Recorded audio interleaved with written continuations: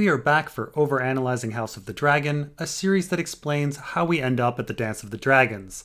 That is, Rhaenyra's blacks versus Aegon's greens. In our first four parts, we found out that the Velaryons were repeatedly shafted, with Aemon dying, Rhaenys being passed over, and then after Baelon dies, a great council being called instead of Rhaenys being named the rightful heir. And then in part 5, we'll get a story about Corlys Velaryon. And now let's continue. Unsurprisingly, the Sea Snake was bitterly disappointed when Prince Aemon died and King Jaehaerys bypassed Aemon's daughter Rhaenys in favor of his brother Baelon, the Spring Prince. But now it seemed the wheel had turned again, and the wrong could be righted. Thus did Corlys and his wife, the Princess Rhaenys, arrive at Harrenhal in high state, using the wealth and influence of House Velaryon to persuade the lords assembled that their son Laenor should be recognized as heir to the Iron Throne. In these efforts, they were joined by the Lord of Storm's End, Boremund Baratheon, great uncle to Rhaenys and great great uncle to the boy Laenor, by Lord Stark of Winterfell, Lord Manderly of White Harbor, Lord Dustin of Barrowton, Lord Blackwood of Raventree, Lord Bar Emmon of Sharp Point, Lord Celtigar of Claw Isle, and others. They were nowhere near enough. The Lord and Lady Velaryon were eloquent and open handed in their efforts on behalf of their son, the decision of the Great Council was never truly in doubt. By a lopsided margin, the Lords assembled chose Viserys Targaryen as the rightful heir to the Iron Throne. Though the maesters who tallied the votes never revealed the actual numbers, it was said afterward that the vote had been more than 20 to 1. And so after our detour, we return to the Great Council of 101, where we once again see that Gyldayn is being dishonest with us. Now look, at this point you're probably sick of hearing me say that Rhaenys has the best claim and that it makes no sense that Laenor's claim was put forward first, and that the whole shift from talking about Rhaenys to talking about Laenor is a Weasley telling of history by a heavily biased Gyldayn. And yeah, I'm sick of talking about it, but the text keeps hammering this point over and over again. So here Gyldayn says that House Velaryon arrived at Harrenhal with the intention of pushing Laenor's claim, which would match Gyldayn's earlier claim that Corlys was massing ships for his son, or Gyldayn's earlier claim that Rhaenys was upset with the choosing of Baelon as it usurped the rights of her son. But we know this to be flat out false. In fact, Gyldayn's whole explanation on how things went is just a lie. So, first of all, we know that Rhaenys' claim was put forward. We were specifically told that her claim was put forward, and later in the text we find out that Stark, Dustin, and Manderly all spoke for Rhaenys. And why wouldn't Rhaenys' claim be put forward? It's the best claim, and it was such a big deal that it caused the second quarrel. She is the rightful heir. And a 20 to 1 margin? We actually find out later that a 20 to 1 margin is the same number listed as the vote of male claimants over female claimants, which probably means if we add up all of the votes for all of the men, we get 20 to 1. Maybe. 20 to 1 is so lopsided that we are in the range of sham dictator election figures. Whatever the case, 20 to 1 is most definitely not the vote tally of Viserys over Laenor, as we get a fairly extensive list of lords supporting Laenor, including great lords like Stark and Baratheon. It's just not believable that the great lords would vote for a house and none of their bannermen would. And if the vote were so lopsided that it was 20 to 1, why not release the final vote numbers? Why not show that their heir is broadly supported by the lords? The hiding of the tally shows that either it was close, or in fact, Laenor was the true winner. We can also look to other parallel elections in Ice and Fire to figure out what likely happened. At the King's Moot, for example, the biggest problem was that Victarion and Asha split the vote, allowing Euron to defeat them. Asha was the most reasonable candidate and chosen by Balon, however, Victarion was male and was backed by the religious. Had only one of them run, they would have probably beaten Euron. Additionally, in the Lord Commander election, Cotter Pike and Denys Mallister are both well qualified. Had only one of them run and they weren't trying to stop each other, they would have won against Janos Slynt or Jon. But again, they split the vote. And so it's rather relevant that both Rhaenys and her son Laenor are put forward along with a dozen other claimants. There seems to have been a splitting of the vote. Had it just been Rhaenys against Viserys, and there wasn't Maester interference, it seems likely that she would have won. I think it's likely there was a first round of voting with the following vote tallies. Laenor getting 40%, Vaegon getting 30%. After all, he is a wise, learned man who would probably make the best ruler. And then Viserys probably got 5% and Rhaenys got 5%. Though Rhaenys' 5% is misleading as Laenor voters would have likely voted for Rhaenys as a second choice. And then the other claimants each got around 2 to 3%, with Laena getting close to nothing. With this result, one can claim that Rhaenys is unpopular and should be disqualified. The vote for male claimants over female is 20 to 1. But in a straight up race between Rhaenys and Viserys, she might grab the Vaegon vote, that is, people looking for a good ruler, and the Laenor vote, people who favor House Velaryon. But instead, reasons are found to disqualify Vaegon, Rhaenys, and everyone else. Viserys captures the Vaegon vote because he would make the better ruler over a boy. What is lost in this process is how unpopular Viserys actually was. He's only popular when you disqualify everyone else and only have him run against a boy. And in the end, the Maesters still probably cheated, Laenor probably actually won. King Jaehaerys had not attended the council, but when word of their verdict reached him, his grace thanked the lords for their service and gratefully conferred the style Prince of Dragonstone upon his grandson Viserys. Storm's End and Driftmark accepted the decision, if grudgingly, the vote had been so overwhelming that even Laenor's father and mother saw that they could not hope to prevail. In the eyes of many, the Great Council of 101 AC thereby established an iron precedent on matters of succession. Regardless of seniority, the Iron Throne of Westeros could not pass to a woman, nor through a woman to her male descendants. So here we find that Storm's End and Driftmark accept the decision, in the end, the ruse of the Great Council of 101 was pretty impressive. The Velaryons had the better claim, they had the fleet, and they likely had the support of around half of Westeros, but they bought the story that they were massively unpopular in the Seven Kingdoms. That, or they didn't want to get murdered by the Lannister and Tyrell forces that were brought to the Great Council, though their fight was far from over. Now, what is rather hilarious with this passage is that Maester Gyldayn tries to claim that there is an iron precedent of the Great Council of 101 barring women from rule, or at least in the mind of the nameless eyes of many. This claim is in the same vein as Gyldayn's well established precedent of Baelon being chosen over Rhaenys. It's hogwash. Of course, there was no iron precedent.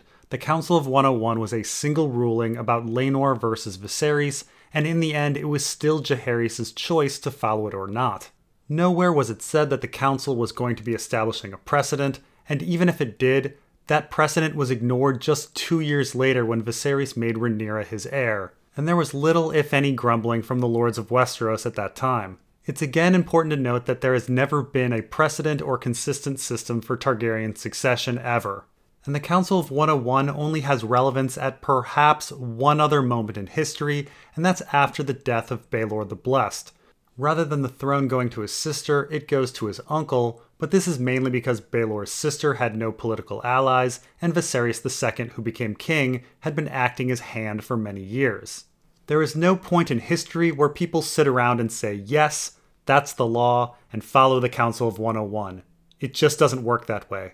And while the Council of 101 is mentioned later for the Dance of the Dragons, it's actually not a very important plot point. Yes, one can interpret the ruling as a way to disqualify Rhaenyra, but she already had the weaker claim according to Westerosi succession. Aegon II was her brother, and sons come before daughters, albeit there might be some discussion about children of the first wife over children of the second wife. The Council of 101 would perhaps be more of a plot point for the modern story, with people wondering about Daenerys' claim over young Griff's. But even then, young Griff is heir according to Westerosi succession, the son of the first son. In the end, for as much as it's talked about, the Council of 101 is actually something that can be more or less forgotten. Yes, it was rigged, and yes, the Velaryons were cheated, but we have a long list of these riggings and cheatings. The real issue going forward into the Dance of the Dragons and the modern story is whether a chosen heir, that is, Rhaenyra and Daenerys, should come before those in succession, Aegon and Aegon. Of the last years in the reign of King Jaehaerys, little and less need to be said. Prince Baelon had served his father as Hand of the King, as well as Prince of Dragonstone, but after his death, his grace elected to divide those honors. As his new hand, he called upon Sir Otto Hightower, younger brother to Lord Hightower of Oldtown. Sir Otto brought his wife and children to court with him, and served King Jaehaerys faithfully for the years remaining to him. As the old king's strength and wits began to fail, he was oft confined to his bed. Sir Otto's precocious 15 year old daughter Alicent became his constant companion, fetching his grace his meals, reading to him, helping him to bathe and dress himself. The old king sometimes mistook her for one of his daughters, calling her by their names. Near the end, he grew certain that she was his daughter Saera, returned to him from beyond the narrow sea. Now it's at this point of Fire and Blood that we cross over into it being a newer version of the Rogue Prince. The Rogue Prince was published in 2014, while Fire and Blood was published in 2018. And it shows. The writing style for this section is different, and I do believe the Rogue Prince information has more allusions and more hidden information. I think our author spent more time with the material and tried harder with it. And comparing this 2018 version with the material from 2014 is also very interesting. So here we find that our author has put in a few retcons, as the Rogue Prince starts out a little differently. This is how the Rogue Prince begins. He was the grandson of a king, the brother of a king, husband to a queen. Two of his sons and three of his grandsons would sit the Iron Throne, but the only crown that Daemon Targaryen ever wore was the crown of the Stepstones, a meager realm he made himself with blood and steel and dragonfire, and soon abandoned. Over the centuries, House Targaryen has produced both great men and monsters. Prince Daemon was both. In his days, there was not a man so admired, so beloved, so reviled in all Westeros. He was made of light and darkness in equal parts. To some, he was a hero, to others, the blackest of villains. No true understanding of that most tragic bloodletting known as the Dance of the Dragons is possible without a consideration of the crucial role played before and during the conflict by this rogue prince. The seeds of the great conflict were sown during the last years in the long reign of the old king, Jaehaerys I Targaryen, of Jaehaerys himself, little need to be said here, save that after the passing of his beloved wife, Good Queen Alysanne, and his son Baelon, Prince of Dragonstone, Hand of the King, and heir apparent to the Iron Throne, his grace was but a shell of a man that he had been. With Prince Baelon lost to him, the old king had to turn elsewhere for a partner in his labors. So, as I said, in here there are some big changes. So, originally in The Rogue Prince, Baelon dies and Jaehaerys goes crazy after that and brings in Otto Hightower immediately, which means the Council of 101 was likely Otto Hightower's idea. However, in Fire and Blood, Jaehaerys goes nuts a decade earlier after the death of Aemon, not Baelon. And it's implied in Fire and Blood that the council has already happened and Viserys has been named heir before Otto Hightower arrives. And of course, the whole idea for the council is given to Vaegon in Fire and Blood. Previously, one could attribute nearly all of the scheming to the Hightowers at this opportune moment, but now a larger Oldtown conspiracy implemented over many years is really necessary to make the pieces fit. The other change to this paragraph is the addition of the adjective precocious here in Fire and Blood for Alicent Hightower. This was not in the Rogue Prince. Precocious means to develop earlier, which on the one hand is supposed to make Alicent seem intelligent for her age, but of course, when applied to a teenage girl, is also going to imply something about her sexual development. And of course, it's rather significant that she is paired with Saera Targaryen. Without a good background on Saera, which we didn't have when the Rogue Prince was released, one might think that Jaehaerys simply missed his daughter and had regrets about her. Except now at the release of Fire and Blood, we know that Jaehaerys was actually quite stubborn, hostile, and insulting towards Saera. We know that Saera, when 14, wanted to be queen, either the queen beyond the wall or the queen of Dorne, and when she was 15, Alicent's age, she became rather boy crazy and was likely sexually active. This behavior made her father Jaehaerys call her a prostitute. So what our author is likely saying is that Jaehaerys' sense to Alicent was, at least subconsciously, an ambitious woman who would use her sexuality to her advantage. Now, of course, it's also a bit weird and creepy that Alicent is helping Jaehaerys dress and bathe when other servants can certainly do that, but it shows that she is willing to be around gross, naked old men to get what she wants. Though Viserys, who she will marry, was only 11 years her senior.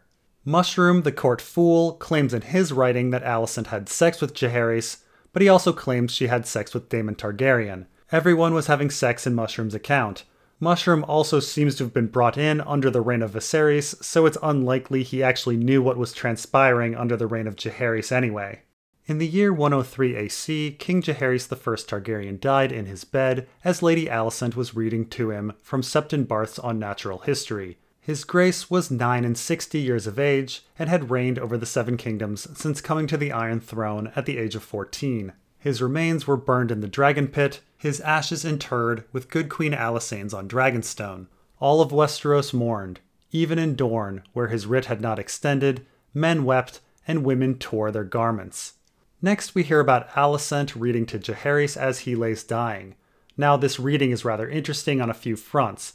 First, it is specifically said later on that it's Alicent's reading to Jaehaerys that caught Viserys' eye. He apparently viewed her as a caring individual from this act and falls for her. But it's also quite striking that the book she reads is Unnatural History. This book we know is chock filled with information on dragon biology from Septon Barth's research. The full name of the tome is actually Dragons, Worms, and Wyverns, Their Unnatural History, with Unnatural History being our author's play on Pliny the Elder's work, Natural History. The book is so revealing on dragons that it's later condemned by the Citadel and banned by King Baelor. In the modern story, Tyrion remarks that no complete copies have survived. However, since Dorne wasn't in the Seven Kingdoms when Baelor ordered the destruction of the book, Doran Martell appears to have a copy, and Arianne Martell later tries to read the book in her tower but finds it boring. Now, why this book is being read is a mystery. Did Jaehaerys want to hear from it? If so, why? What use would Barth's knowledge do Jaehaerys on his deathbed? It seems more likely that Alicent wanted to read from it to learn something about dragons. Now, we also hear that Jaehaerys' ashes were interred on Dragonstone. It's notable that certain characters with very good claims to the Iron Throne were denied having their ashes on Dragonstone. Dreamfyre Rhaena and her daughters were not interred there, and we hear nothing of Rhaenys being interred there either. She was probably brought to Driftmark. And Rhaenyra has no tomb as she was eaten by a dragon. And we also hear about everyone mourning Jaehaerys, even down in Dorne where they ripped their garments. This is, of course, ridiculous. There's no reason for anyone in Dorne to like Jaehaerys, but the lie about ripping garments does remind one of Jeyne Westerling's melodramatic and rebellious tearing of her dress, and Obara Sand's hyperbolic claim that Dorne mourned Oberyn Martell greatly with women ripping their hair out and sex workers refusing coin. A tearing of garments is seen as so dramatic that it's insincere. In accordance with his own wishes and the decision of the Great Council of 101, his grandson Viserys succeeded him, mounting the Iron Throne as King Viserys I Targaryen. At the time of his ascent, King Viserys was 26 years old. He had been married for a decade to a cousin, Lady Aemma of House Arryn, herself a granddaughter of the old king and good Queen Alysanne, through her mother, the late Princess Daela, died 82 AC. Lady Aemma had suffered several miscarriages and the death of one son in the cradle over the course of her marriage. Some maesters felt she had been married and bedded too young, but she had also given birth to a healthy daughter, Rhaenyra, born 97 AC. The new king and his queen both doted on the girl, their only living child. And so here we hear about Viserys taking the throne. Now it's notable that it's Jaehaerys' wish for Viserys to succeed him based on the Council of 101. Jaehaerys' wish being important, in the end succession still appears to be largely based on the choice of the monarch, Aenys may have chosen Maegor, Maegor certainly named a successor with Aerea, and Jaehaerys chose Aemon, then chose Baelon, and then chose Viserys. This is significant as, again, in just two years, Viserys would name Rhaenyra, showing that the Council of 101 did not change anything. Now, we also hear about Viserys' first wife, Aemma Arryn, and we get some very ambiguous writing. Still, her sad situation shows how desperate Viserys was in producing a male heir to balance Rhaenys' Laena and Laenor. You see, Aemma Arryn was born in 82 and married to Viserys in 93 at the age of 11. Early marriages are always done out of political necessity. Rhaenys had given birth to Laena in 93 and was pregnant again. And then we hear about several miscarriages and a death of a son over the course of the marriage. Which is curious. You see, Aemma Arryn does have a son after Rhaenyra that dies after one day, so one might think that the son in the passage is him. But no, the passage clearly links the death of this boy to the miscarriages and Aemma being too young. Aemma Arryn was certainly not too young for her later son. Not to mention, later on, Rhaenyra is called their only surviving child. This boy who died in the cradle is an additional son, which means she was really young when Viserys was bedding her. If Rhaenyra was born in 97, then Aemma Arryn was 14 when she conceived her. But then we have another full pregnancy before that, which means that Aemma was about 13 being bedded. and then several miscarriages. So, yeah, essentially Viserys was betting a 12 year old, trying to get her pregnant in order to increase his legitimacy to the Iron Throne. And this is a good place to stop. We'll continue on in part 7 with the early reign of Viserys Targaryen. Thanks for watching, and we'll see you next time.